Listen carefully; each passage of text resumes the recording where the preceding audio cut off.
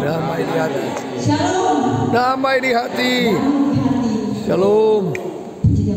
Yesus Kristus dari tempat ini kita berikan ungkapan syukur dan terima kasih kepada Tuhan karena bukan secara kebetulan kita ada di tempat ini bukan secara kebetulan lagi orang beberapa dalam rangka kebaktian penyegaran iman.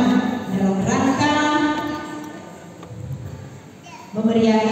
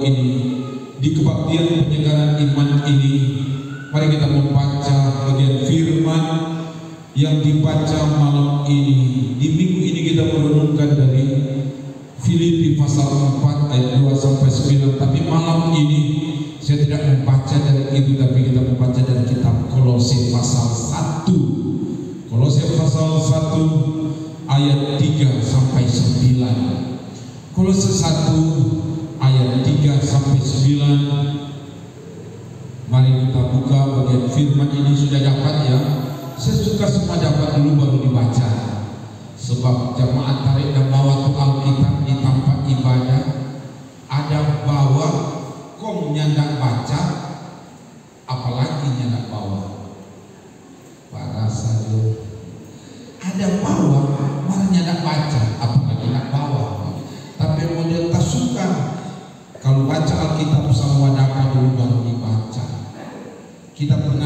ibadah di wanita kaum ibu kita bilang mari kita membaca kitab Habakuk Allah. Kalian tentang tamin so bingung dia. Maju mundur maju mundur. Sama dekat terus di Korintus. Ternyata tamin terus dekat belakang. Dia akan lagi. Buka sampai wahyu dan pendeta tak ada pendeta dan kalau sudah tinggal sudah atas lamar itu Habakuk dan tamin dia bilang iyo so pendeta tanah apa bawa dia kira tak karena bunyi hampir sama tuh. Jadi kali dah baca di misalnya baca di Habakuk, kau dapat buka di Korintus, jemaat belum dapat, kau ajak dia baca berbalasan. Ini kali kan aku sebab balas malu dia dah buka maju mundur maju mundur sehingga dia dah baca di Habakuk dia dapat buka di Korintus dia pura-pura tahan ke situ waktu balas dia pura-pura sebagai dia dulu baca baca baca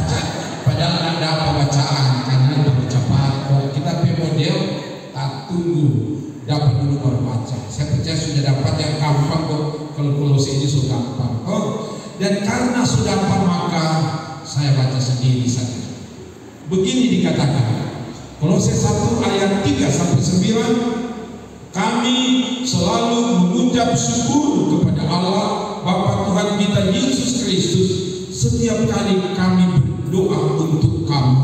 Karena kami telah mendengar tentang imanmu dalam Kristus Yesus dan tentang kasihmu terhadap semua orang kudus.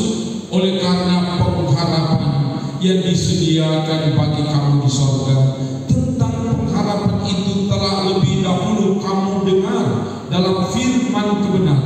yaitu Injil yang sudah sampai kepada kamu Injil itu berbuah dan berkembang di seluruh dunia Demikian juga di antara kamu sejak waktu kamu mendengarnya dan mengenal kasih karunia Allah dengan sebenarnya. Semuanya itu telah kamu ketahui dari Epafras, kawan pelayan yang kami kasihi, yang bagi kamu adalah pelayan Kristus yang setia. Dialah juga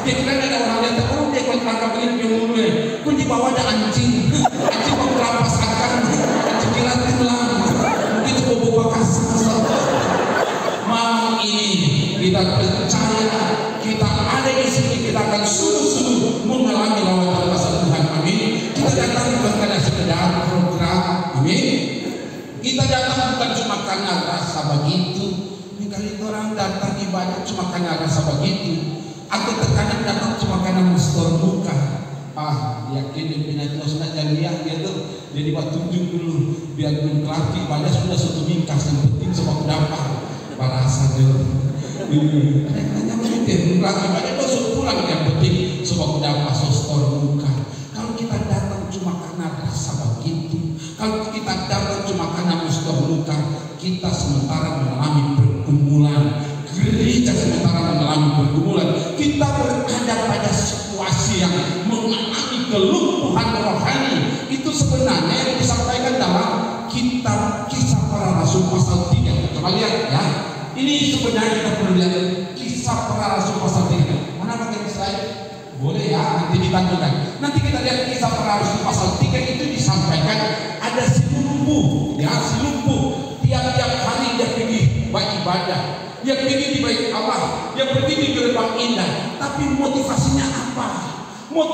Motivasinya dia pergi cuma untuk mendapatkan sesuatu.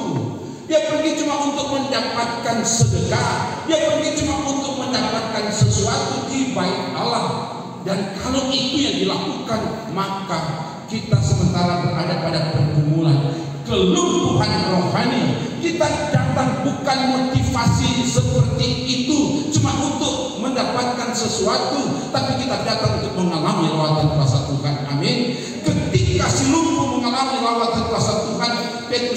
Emas dan perak tak ada pada kami, tapi apa yang ada pada kami akan kami berikan kepadamu. Dalam nama Yesus orang Nazaret berjalanlah. Saat itu dia mengalami lawatan kuasa Tuhan sehingga dia mengikuti Petrus dan Yohanes. Dia melompat-lompat sambil memuji-muji Tuhan. Ini yang harus dilakukan oleh gereja. Sehingga dari kegiatan-kegiatan yang dilakukan oleh gereja apakah itu ibadah kolom, ibadah kategorial, ibadah di rumah gereja kita mengalami lawatan kuasa Tuhan dan pada akhirnya kita akan mengalami pertumbuhan demi pertumbuhan terjadi dan itu sebenarnya yang terjadi di jamaat Kolose. Coba lihat bacaan kita. Kolose pasal 1 dari bacaan kita tadi di ayat 4 ini ada terjadi pertumbuhan yang luar biasa. Coba lihat. Ya ini Kolose 1 ayat 4 karena kami telah mendengar tentang imanmu dalam Kristus dan tentang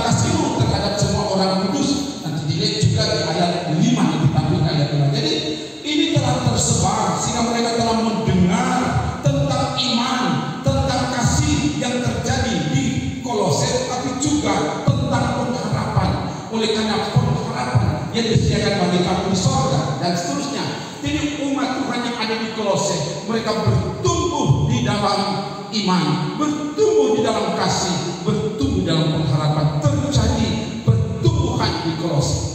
Menjadi pertanyaan mendasar adalah kenapa terjadi pertumbuhan? Itu yang penting dan itu akan kita lihat sehingga ini yang akan terjadi dalam kehidupan bergereja. Kita mengalami pertumbuhan demi pertumbuhan. Pertumbuhan terjadi di Kolose ini karena ada tiga faktor yang dilakukan. Dan kalau tidak terjadi pertumbuhan, tidak menghasilkan buah, maka sebenarnya kita berada pada pergumulan yang berat. Kita lihat apa kata Yesus ya. Apa kata Yesus ketika tidak bertumbuh, ketika tidak menghasilkan buah di Yohanes pasal 15 ayat 2 rantingnya yang ada buah akan dipotong di ayat 6 bilang apa akan dibuang dini akan menjadi kering dikumpulkan orang dicampakkan ke dalam api lalu dibakar. Jadi kalau tidak bertumbuh tidak menghasilkan buah sebenarnya ada sanksi. Dipotong dibuang menjadi kering dikumpulkan orang dicampakkan ke dalam api lalu dibakar. Itu kata firman. Dan karena itu dalam kegiatan-kegiatan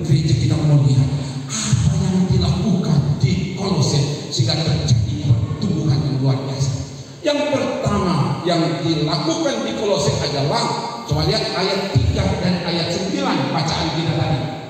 Nah, ayat 3 dari Kolose pasal 1 dan ayat 9 ada doa yang tiada henti. Ya, coba lihat. Kami selalu mengucap syukur kepada Allah Bapa Tuhan kita Yesus Kristus setiap kali kami berdoa untuk kamu. Ayat 9. Ya, sebab itu setiap waktu kami mendengarnya, kami tiada berhenti-henti berdoa untuk kamu. Ada doa yang tiada henti. Doa adalah kekuatan yang mendatangkan pertumbuhan. Doa adalah kekuatan yang dapat menggerakkan tangan yang menggerakkan dunia. Ini yang terjadi di Kolose. Mereka sadar mereka tidak dapat melakukan tanpa kuasa Tuhan bekerja melalui doa. Dan karena itu doa adalah penentu terjadinya pertumbuhan. Doa dilakukan karena umat sadar bahwa mereka tidak mampu untuk melakukan sesuatu tanpa kuasa Tuhan bekerja melalui doa. Sebenarnya itu yang dipesankan oleh Yesus sebelum Yesus naik ke sorga. Kisah pasal 1 ayat 4 apa Yesus bilang sebelum dia naik ke sorga tunggu dulu diam dulu di, di Yerusalem tunggu Roh Kudus tunggu menanti janji Bapa ya jadi ini telah dipesankan oleh Yesus supaya kuasa Tuhan bekerja sebab kita tidak mampu kita tidak sanggup kalau bukan kuasa Tuhan yang menggerakkan setiap hati orang yang tidak menyiapkan waktu untuk berdoa itu tanda dia mengandalkan kekuatannya sendiri. Kita apa? Kita tak kuat. Firman bilang, pemazmur bilang tempat hidup ini cuma seperti apa? Seperti bunga rumput di waktu pagi bertumbuh di waktu petang mesut dan layu. Bahkan kita Yakobus bilang tempat hidup ini cuma seperti uang sebentar kelihatan lalu lenyap. Ibu-ibu pernah lihat uang? Ya, tali belakang masuk ih panstov ini gitu. Foto orang itu pendeta. Coba buka kabar pun di uang cuma sebentar lalu lenyap. Nabi Hosea bilang topi hidup ini cuma seperti kabut di pagi hari akan hilang. Bahkan Nabi Yesaya bilang orang hidup ini sangat kecil di hadapan Tuhan. Coba tampilkan Yesaya 40 ayat 15 ini Yesaya 40 ayat 15 bilang sesungguhnya bangsa-bangsa seperti setik air dalam timah dan dianggap seperti debu pada neraca. Sesungguhnya pulau-pulau tidak lebih dari abu halus beratnya. Coba lihat ayat ini, ya. Sesungguhnya bangsa-bangsa seperti seperti air dalam timah dan dianggap seperti seperti debu pada neraca. Sesungguhnya pulau-pulau tidak lebih dari abu halus beratnya. Kumpulan bangsa-bangsa menuju kepada dunia ini kan bangsa-bangsa menuju ke dunia ini dunia ini menuju ke bumi bumi ini katanya menurut firman cuma seperti seperti air dalam timah. Dianggap seperti seperti debu pada neraca. Betapa kecil bumi ini. Ya. Dan ilmu pengetahuan telah teliti ternyata ayat ini betul. Ya.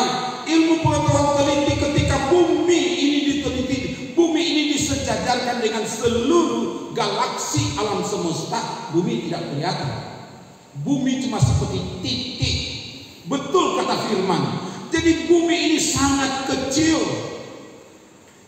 bayangkan ini dibilang cuma seperti sebutir debu penduduk bumi sekarang berapa banyak penduduk bumi yeah. mendekati 8 miliar ya.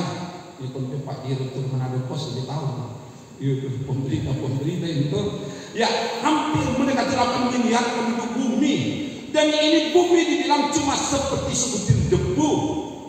Betapa kecil kita di hadapan Tuhan? Bumi saja yang hampir 8 miliar penduduk bumi cuma seperti sebutir debu. Apalagi kita manusia. Betul ya? Seperti apa kita?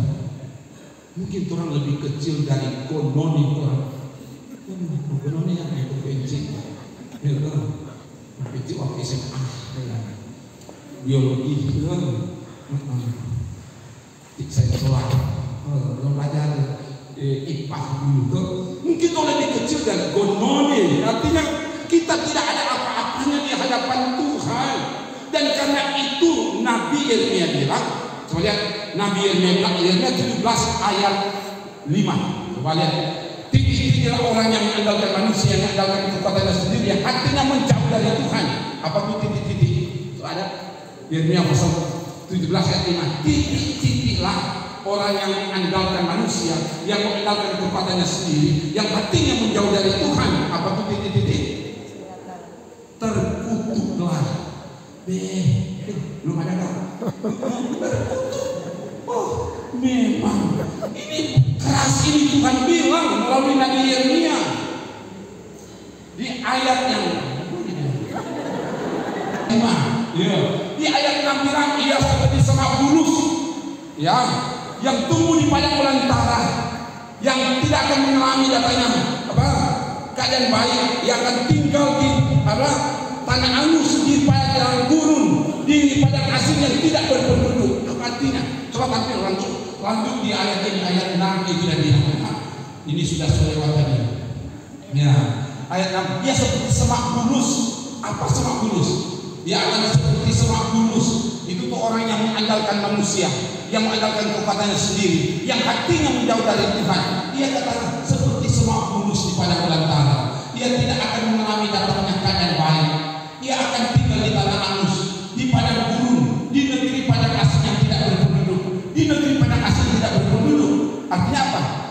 dia sendiri. Apa dia hidup? Cuma sendiri, hampa, kosong. Itu tuh semak bulus. Semak bulus apa ya? Semak bulus tumbuh, hidup semak bulus, pabuah, mardeke buah, apa? Orang kontemporan bilang pesel. Tahu pesel? Pesel? Kosong. kosong. Iya, orang rata bilang kepa. Betul? Kepa. Kempes, yo kempes. Ya, jadi apa dapatnya hidup teman kosong hidup hampa. Tetapi dibilang apa? Ayat 7 diberkatilah orang yang mengandalkan Tuhan yang menaruh harapannya pada Tuhan. Yang seperti pohon yang ditanam di tepi aliran air yang mau merapatkan akar-akarnya ke tepi batang air. Tidak layu daunnya tidak pasti dengan tahun kering dan tidak berhenti menghasilkan buah. Amin. Beri kemuliaan bagi Tuhan. Ini luar biasa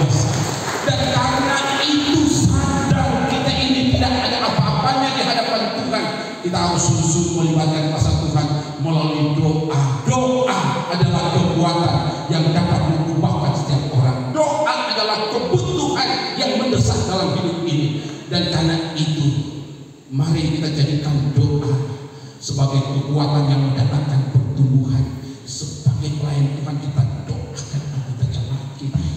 Sebagai orang tua mari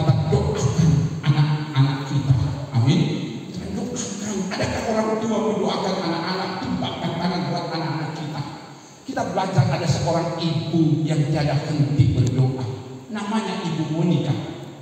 Nah ibu Monica dia doakan suaminya hidup di dunia gelap.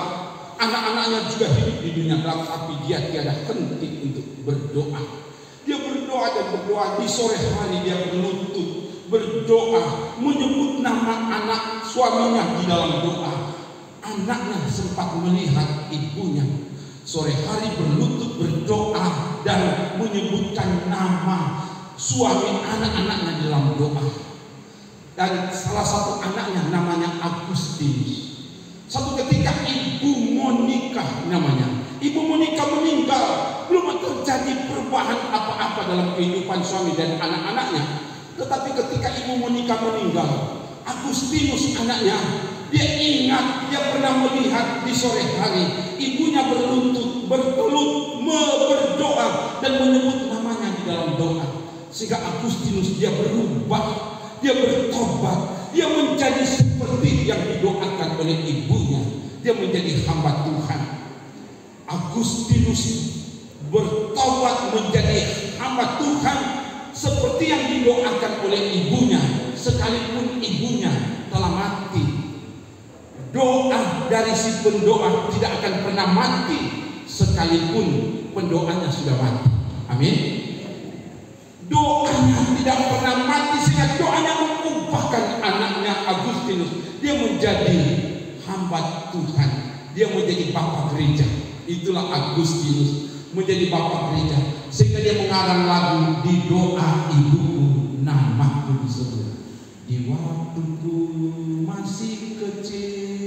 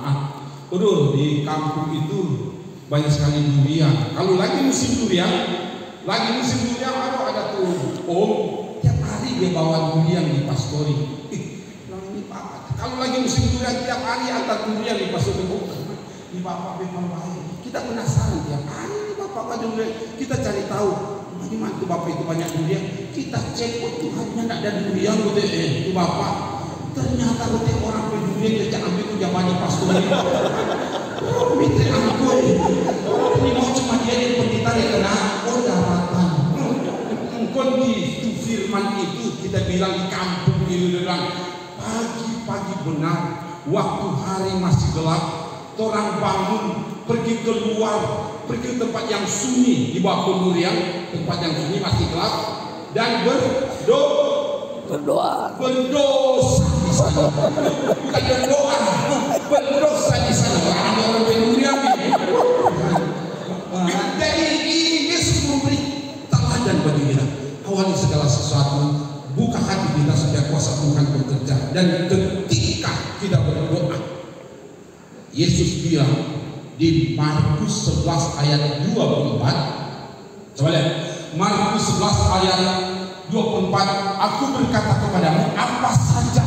yang kamu minta dan doakan percayalah bahwa kamu telah menerimanya maka hal itu akan diberikan kepadamu.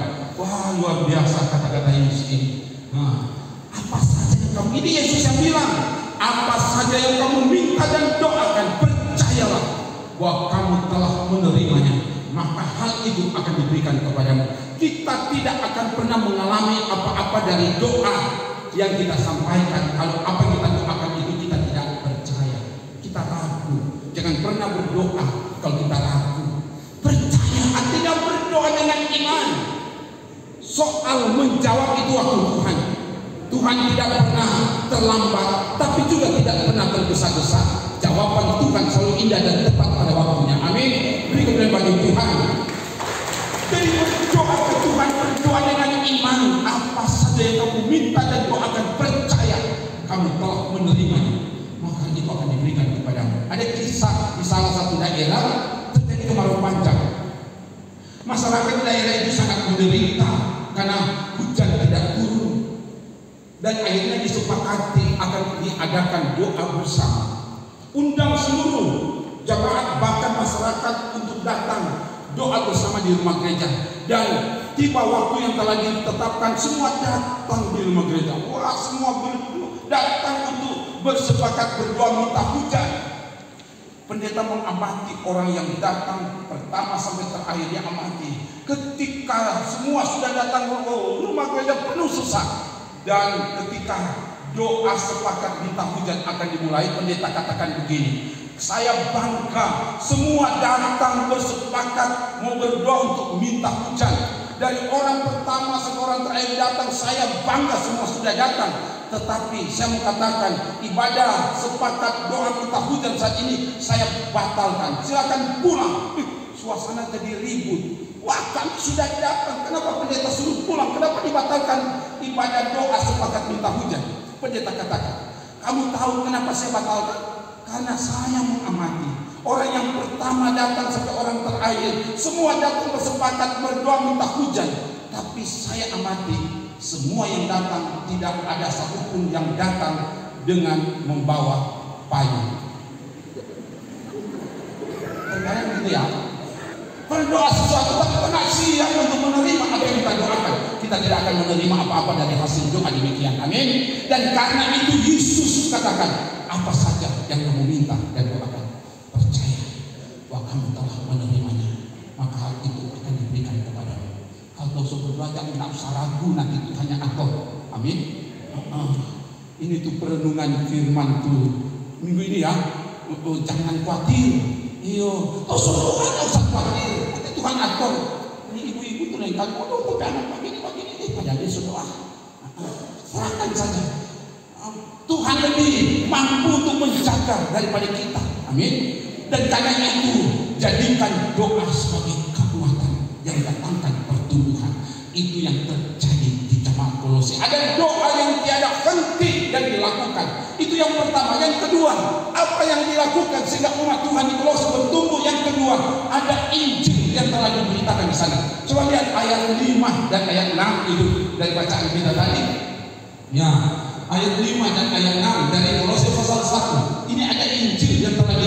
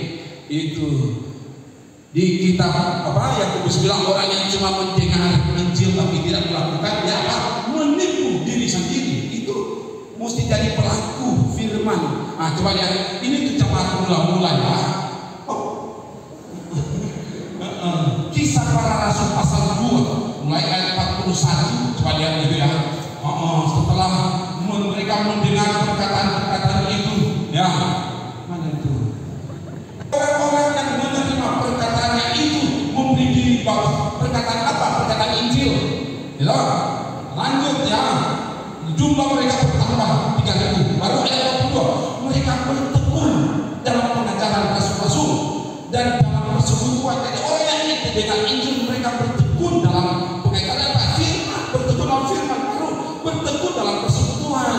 Itu tuh Injil yang diberlakukan. Bertekun dalam eh, persekutuan, bukan cuma tiba-tiba muncul muncul hilang muncul hilang itu apa kura-kura ninja itu ya kura-kura ninja ya munculnya kura-kura di kepala eh, ulat keluar masuk keluar masuk kura-kura itu iya yeah jadi tidak muncul-muncul hilang-hilang hilang pura-pura ninja.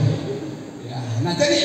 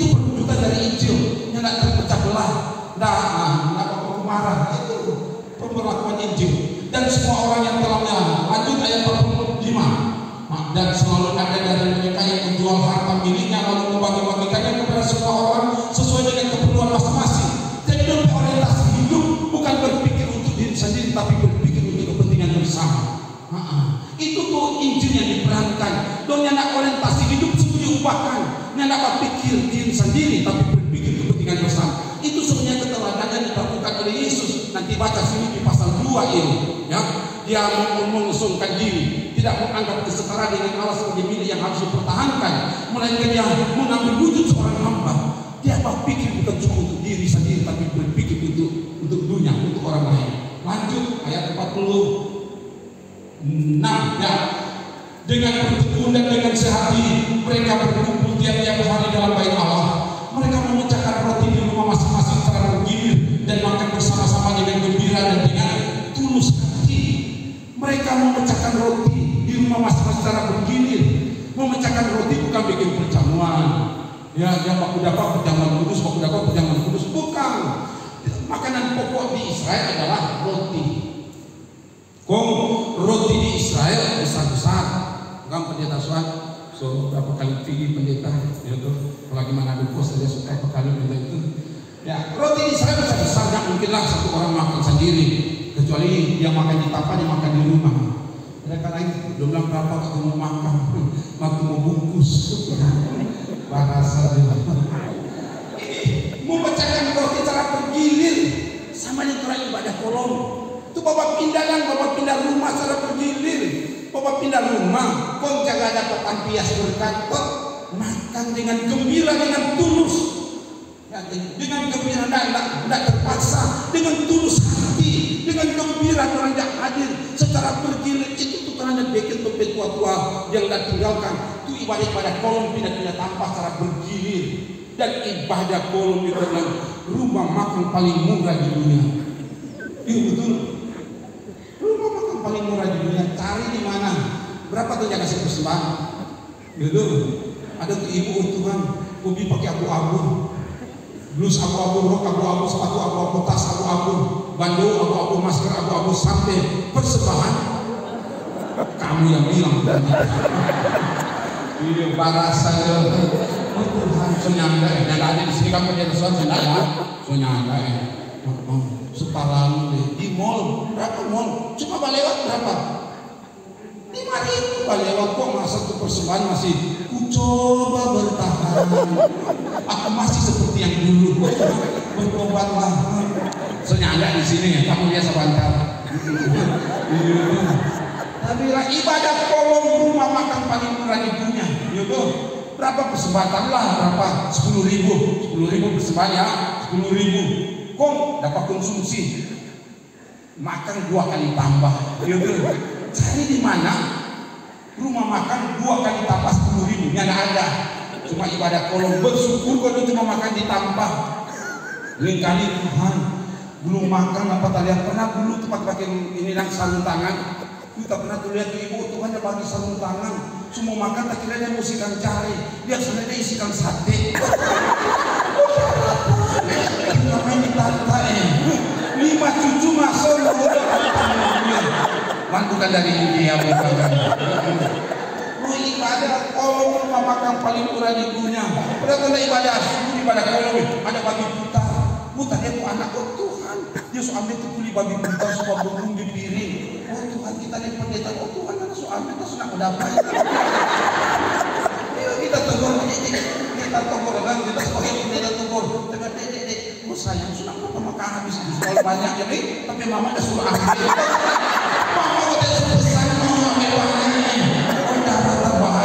Sudah pesan ke anak-anak. Kalau sudah ada mau bungkus dia bungkus di mama. Brio, kau tak tanya ke adik ini mana ada mama dan kenapa dan mama sementara ambil. Mama dan anaknya sebut malingkung. Karena mau ngomong angkat di meja. Oh, rasa kamu ini ya. Raratan aku sangka mata rasa.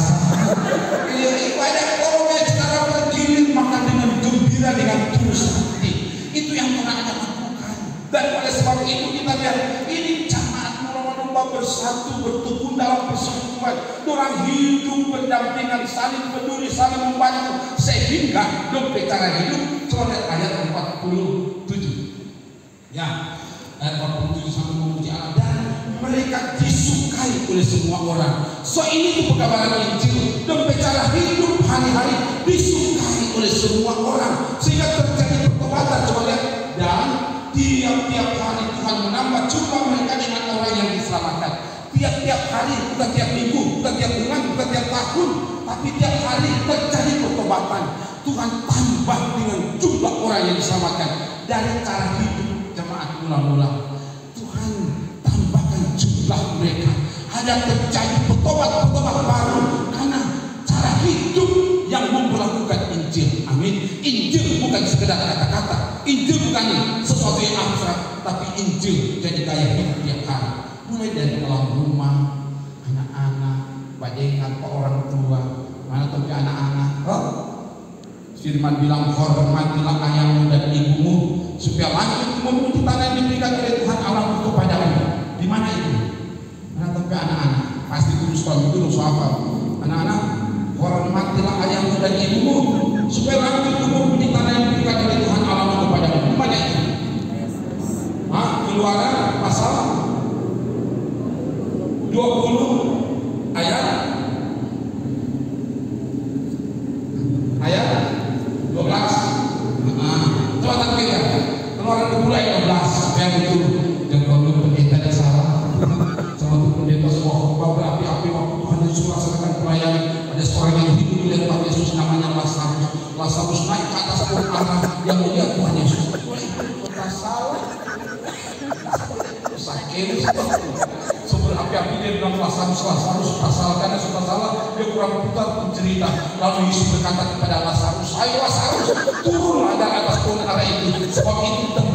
tempatnya Sakeus maka naiklah Sakeus ke atas pohon ara saudara salah dia kurang putar cerita ya ini betul ya keluaran betul ya jelas betul ya?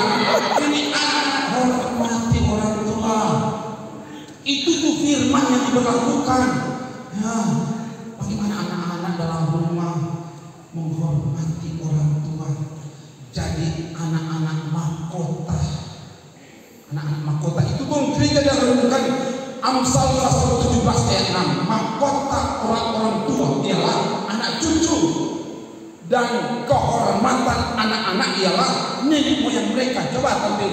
Amsal 17 ayat 6 dan bilang mahkota orang-orang tua ialah anak cucu? Dia kok anak-anak jadi anak-anak mahkota. Amin. Amin. Iya, mahkota apa mahkota? Mahkota dari bahasa Ibrani atara. Atara artinya apa? Atara artinya kehormatan kebanggaan kemuliaan. Itu mahkota jadi anak-anak sampai anak-anak jadi anak-anak yang datangkan kebanggaan anak-anak yang datangkan kemuliaan anak-anak yang datangkan kehormatan bagi orang tua. Amin. Amin. Bagi Tuhan. Ini luar biasa. Sampai anak-anak jadi anak-anak mahkota anak-anak kebanggaan anak-anak datangkan kehormatan anak-anak yang datangkan kemuliaan. Bagi orang tua bagi keluarga bagi gereja dan terutama bagi Tuhan. Ini yang kita hasilkan dan karena harus jadi anak-anak mahkota tapi juga bukan cuma anak-anak tapi kehormatan anak-anak ialah nenek moyang mereka orang tua juga harus jadi kehormatan jadi panutan jadi teladan bagi anak-anak. Ada hubungan timbal balik di sini jadi anak-anak jadi anak mahkota tapi juga orang tua jadi panutan jadi teladan. Sehingga dari dalam rumah kita menghasilkan generasi-generasi yang mengubahkan dunia. Amin. Beri kemuliaan bagi Tuhan. Haleluya dan karena itu menjadi anak-anak mahkota anak-anak dalam rumah banyak ingat orang tua. Oh anak-anak kali dalam rumah aduh sundak bajengan orang tua mau suruh kali itu sundak jabajengan sebab orang kali tapi anak-anak dalam rumah jangan anggap dong so aman dalam rumah dalam kamar kali orang dalam rumah mau aktivitas di luar rumah. Ya tapi anak-anak sekarang. Dong dia dalam kamar jangan anggap so aman so nyaman ya bisa juga orang sementara bergentayangan di dunia maya gitu so itu dunia sekarang. Ya nak mengucapkan begitu ke anak-anak. Kali sudah kamar orang so dulu kamar sudah so aman. Mas sekarang gitu kali berada dalam kamar mau aktivitas mungkin sudah bermain di anak-anak di luar negeri. Toh ada ke mana tuh anak-anak ada ya tuh di dalam kamar mau bisa ada main game dengan anak-anak di luar negeri apa itu nama itu ya Mobile Legend Iya. PUBG Mabat Ih, Mabat. itu binatang-binatang apa sih? Tidak tahu yang itu ya. Dulu tuh bejago cuma apa? Beta kaya, kaya, kaya. Beta bisik, bisik. Iya, pacengin-cengin pada pakai sapu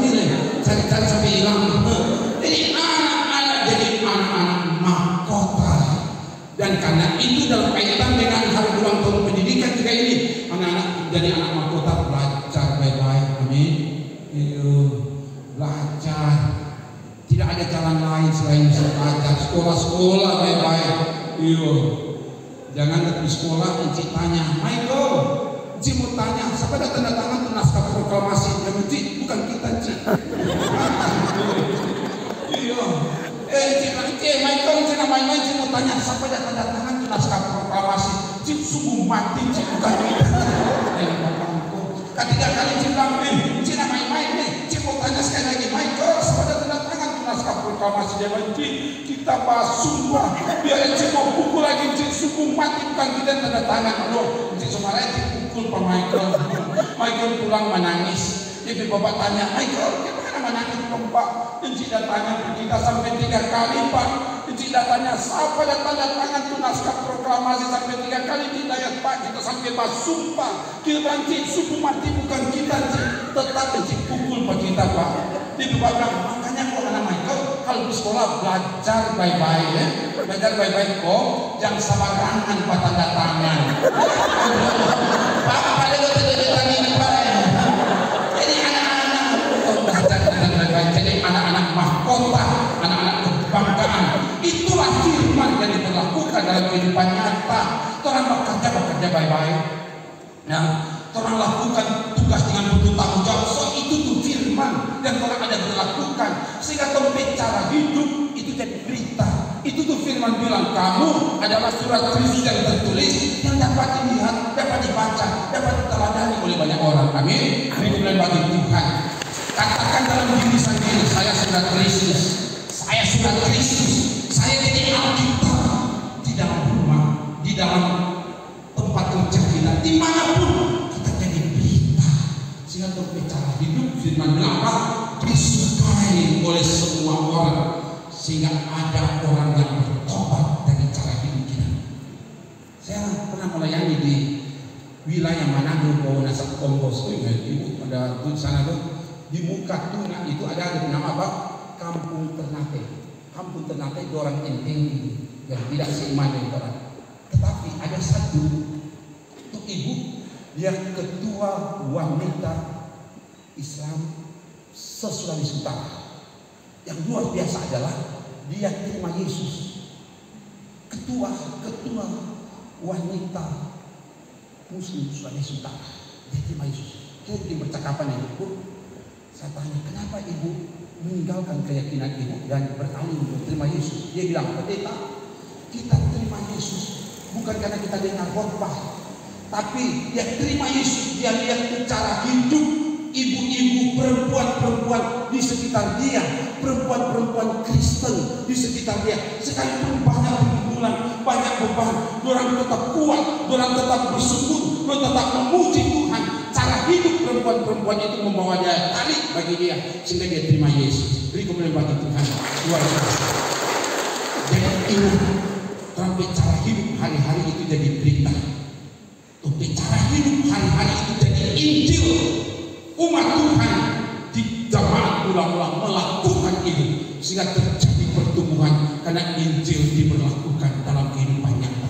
Injil yang diberlakukan dalam kehidupan nyata itu yang di Markus pasal 16 ayat 15 pergilah ke seluruh dunia beritakanlah Injil kepada segala makhluk. Uh, beritakan Injil kepada segala makhluk bukan cuma manusia. Atau tak bilang beritakan Injil kepada kepada manusia enggak.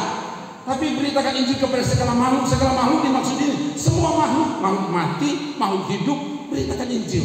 Itu berarti Injil bukan cuma kata-kata tapi perilaku hidup orang bagaimana beritakan Injil kepada lingkungan yang ada orang ini ada di kota Manado ini sama-sama nyentuh Ibu Suan di BKSUA itu bagaimana telah menopang program-program pemerintah peduli lingkungan, peduli dengan kebersihan. So itu tuh tindakan Injil. Jaga jangan buang sampah sembarangan. Ya. Orang kebersihan. So itu tuh tindakan Injil. Injil bukan sesuatu yang jauh dibilangnya, bukan di seberang sana. Bukan di seberang lautan, tapi Injil itu ada dekat dengan kita yang terang perankan hari-hari, terang bikin hari-hari peduli dengan lingkungannya, tidak buang sampah, menjaga kebersihan. So itu tuh tindakan itu sehingga berbicara hidup itu merupakan Injil. Ya, kita pernah melayani di salah satu jamaat kita pikir lebih awal baru pendeta cepat sekali datang. Karena ini tahu lebih suka cepat datang. Tadi kita sudah datang, kita sudah di foto tadi. Ya, hmm. Tadi Allah, Pak tunggu dia tadi ini foto tadi. Eh sampai di situ di, di jamaat agak jauh don terima kita ngomong antar antar di di rumah bukan bukan pastori bukan di rumah yang panitia siapa tahu oh di rumah Perusaki Pe dulu di muka rumah dia pada di ruang tamu duduk dengan pendeta eh mau minum dulu eh kalau oh boleh atur dulu tadi kalau oh Tuhan di bawah meja di pelawa-lawa subaku sudah jangan subaku susu di bawah ku tak boleh di meja aku meja hampir satu senti lebih aku ku tahu kemarin kukis balapis kukis balapis kok angin tiup tuh aku malah kacau di balapis ini? Tahu ke mana pak. Aku Tuhan.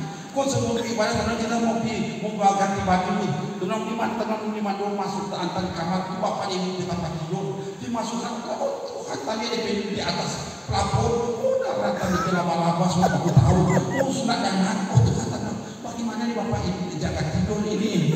Kurang cari-cari kamar ibu sultan kantor di sana laba-laba ya sudah aku tahu ya udah. Tenang ibu mau bagaimana ini melampir ya.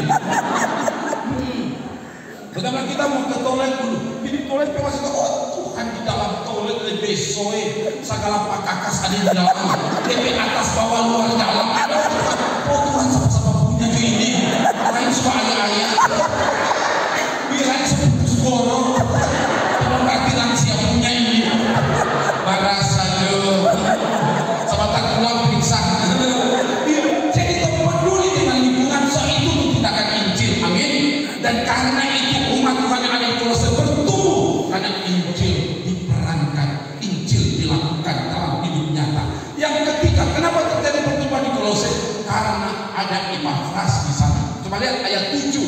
Ada Epafras, kawan pelayan yang kami kasihi, yang bagi kamu adalah pelayan Kristus yang setia.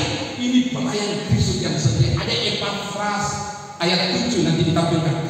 Ada Epafras yang melayani, ada kerelaan berkorban, pelayan Kristus yang setia, yang melayani di di Kolose sehingga terjadi pertumbuhan. Di mana ada kerelaan berkorban, di situ ada pertumbuhan. Amin. Di mana ada kerelaan berkorban, di situ terjadi keberhasilan. Dan itu sebenarnya yang telah oleh para pendahulu gereja kita. Bagaimana mereka datang di tanah Minasa. Ada Riddle di Tondano, ada Swas di Lamongan, ada Wilken di Tomohon, ada Herman di Amuran, ada Ulfas di Gumulongguai, ada apa William Kapel di Tarenan, baru ada Lamar, Lamar di Lamar di di apa? Kemah sana.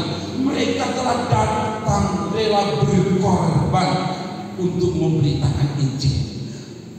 Perayaan hari ulang tahun kabar Injil mendorong kita adakah jiwa pengorbanan seperti itu?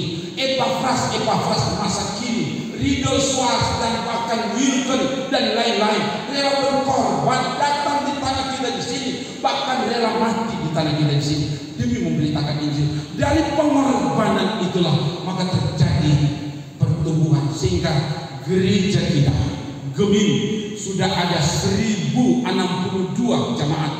Ini pertumbuhan yang luar biasa, tapi bukan cuma bertumbuh secara kuantitas. Yang paling penting adalah kita bertumbuh secara kualitas. Kuantitas penting, tapi lebih penting adalah kualitas. Apa artinya kita besar? Apa artinya kita banyak?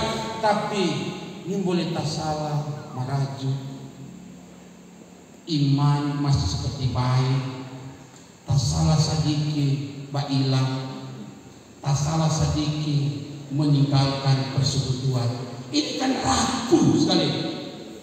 Kita mesti bertumbuh di dalam iman bertumbuh dalam kasih bertumbuh sehingga apa pun persoalan yang terjadi kita tetap kuat kita punya iman yang berkualitas Kualitas iman dibuktikan ketika kita tetap tegak berdiri sekalipun melewati berbagai tantangan, badai dan gelombang sekalipun kita tetap tegak berdiri. Kita mesti bertumbuh secara kualitas dan terjadi pertumbuhan karena ada kerelaan berkorban. Dan saya percaya itulah yang dilakukan di jamaah Gemim Yudea Paldua ini. Amin. Tidak rela berkorban ini tidak jadi ini. Ada panitia, ada pelayan-pelayan dan juga anggota jemaat rela berkorban dan kira ini akan kita terus tumbuh kembangkan kerelaan-kerelaan berkorban berpola dari pengorbanan para pendahulu-pendahulu gereja kita dan lebih lagi kerelaan berkorban yang telah diteladankan oleh Yesus dia rela makanya ada lagu tadi karya terbesar dalam hidupku engkau selamatkanku. Pengorbanan yang sangat mahal yang telah dilakukan oleh Yesus. Itulah pengorbanan yang sesungguhnya dan kita diajar ketaatan melakukan firman Tuhan ada kerelaan berkorban nggak berpikir diri sendiri tapi berpikir untuk kepentingan bersama antara lain kita buktikan dalam kerelaan berkorban sabanta pun kasih persembahan kan? Iya. Kita pernah melayani di salah satu jamaah tuh ibu. Koncudu mati. Oh Tuhan. Maka lupa belanja pang tawar mati. Mungkin saudara kembar koncudu deng pang tawar dia kalau ibadah kolong waktu ibu di rumah, enggak gila dia mau kasih bungkus. Dia kasih saja di persediaan, enggak gila dia mau kasih. Dia bilang, eh makan dia banyak-banyak sini, eh. Kong tu sisa kita mau kumpul, kong esok tak masih panas, kamu jual di pasar, esok kan main itu pekala kuah. Dia kaji dia dapat bungkus. Siapa pun dia, oh. Kau pernah tapi kata ibadah di rumah itu, nah, bu, kita bicara kan betul ibadah, kita iya pendeta, kata iya bu, karena bikin pak jenis Tuhan nih, dia pendeta suka makan jenis Tuhan, kata iya bu, kau dalam campur mie bu, oh iya, iya nanti mau bikin pendeta, ibadah jam tujuh malam, ini kali jatuh tak lewat ya doh, nak jatuh tepat waktu tak lewat, tapi setengah delapan mulai, kompe habis ibadah sudah hadir cuma sedikit, karena dosa tahu rumah kunci sedikit tidak pergi kasih satu tuntutan banyak sekali sultan kudengi kok itu ibu bilang pendeta pendeta mbak bungkus eh anda bu. Tumben. Biasa tak ada apa bungkus. Katanya anda bu. Siapa lagi gila kena malah mau bungkus pintuan? Tak tahu bu eh. Memiliki metre pak kita? Anda bu. Tamang bu ibu jauh kumpul semua. Kok ibu sepanas besok? Kau jual di pasar. Bagaimana rasa rasa ngajak itu begitu jual itu? di pasar sopadede atau kalau bu ibu makan ke satu malam itu tersisa itu mencret dengan satu malam. Bagaimana rasa lagi ini sangat tapi karena memang dokter tahu sudah mati. Coba kita lihat firman. Satu Korintus 6 ayat 10 dan bilang satu Korintus 6 ayat 10 dan bilang apa pencuri orang kikir pemfitnah apalagi penipu. Apa ada pengamuk di situ? Iya orang kikir ah pencuri orang kikir nah ini pemabuk pemfitnah dan penipu. Apa dia bilang? Tidak akan mendapat bagian dalam kerajaan Allah. Sudah itu lain-lain dan kita bicara orang konjudu you know? Eh, ternyata firman bilang orang kikir. Di sini ada apa? Bolotu, batu kubur. Iya. Ternyata orang kikir tidak akan mendapat bagian dalam kerajaan Allah. Enak masuk. Oh, baras saja. Lagi bakon dulu masuk. Maka saya yakin terus semua masuk. Amin. Amin. Masuk surga terus semua. Nanti waktu dapat di surga. Udah beliau dapat tuh dari Yudia yang masuk semua bikin pemberitaan di sana tuh. Iya, mana ada bos. Iya, kalau semua masuk, kau jangan. Yakin, yakin, kau tidak bisa nama kasus ikan yakin masuk waktu neraka. Kau yakin, cuk, ada di pena di belakang. Kami tidak masuk yang kemudian, ih, pena suika waktu neraka, jangan deh. Pena, pena kau tidak masuk neraka. Pena kan cuk, ada di pandita di belakang. Ya ada semua termasuk pada firman dia bilang, ah, bukan karena ini firman dia bilang, Yesus bilang apa?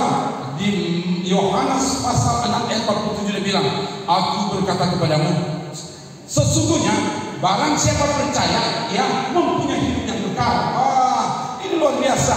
Yesus sudah bilang, aku berkata kepadamu, sesungguhnya, sesungguhnya apa?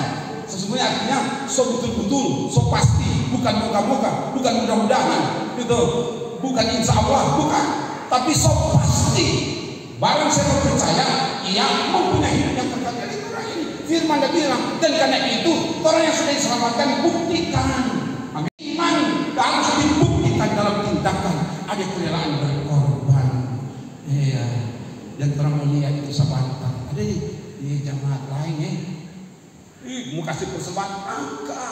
Lihat apa Tuhan, oh Tuhan, sampai angka cuma dua ribu.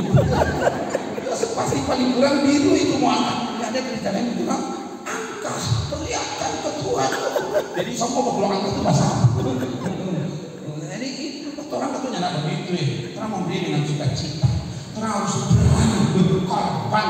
Di mana ada pengorbanan di situ ada kemajuan. Di mana ada pengorbanan di situ kuasa Tuhan bekerja kita belajar dari seorang perempuan ibu janda penjaga di saat kan satu raja-raja 17 bayangkan sudah ada ada dia berani kasih pada Elia dia bilang kurang sedikit tepung dalam tempayan kurang sedikit minyak dalam kemudian Nabi Elia bilang lakukan saja. Dia ambil tuh tepung dalam tempayan ambil tuh minyak dalam kemudian dia bikin roti pun dia kasih. Soalnya tidak ada. Dia berani berkorban dari kekurangannya sehingga mujizat berkat terjadi. Sampai musim hujan datang tepung dalam tempayan minyak dalam beli-beli dah habis. Dong makan sampai pindah pindah kursinya lagi eh, makan pusat sampai tak sisi mujizat berkat terjadi karena di tengah kekurangan berani berkorban sehingga terjadi pertumbuhan. Di mana ada keren berkorban di situ ada keren ada pertumbuhan. Dan karena ini firman malam itu lagi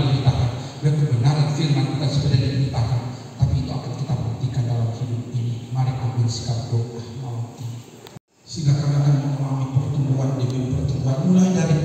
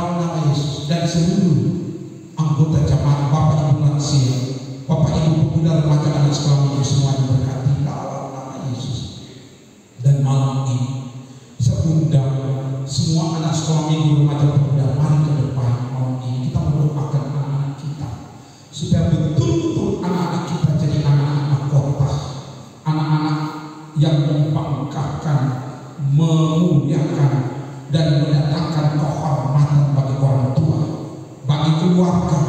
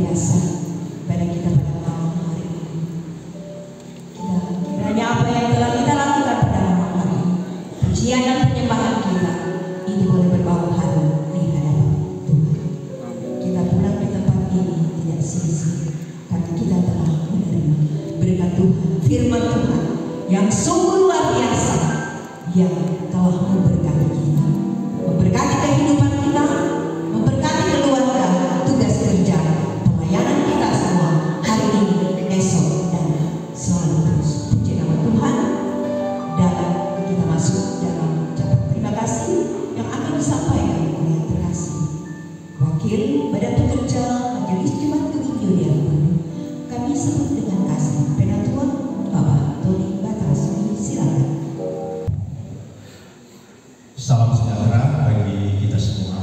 Shalom. Damai jati. Damai jati. Shalom.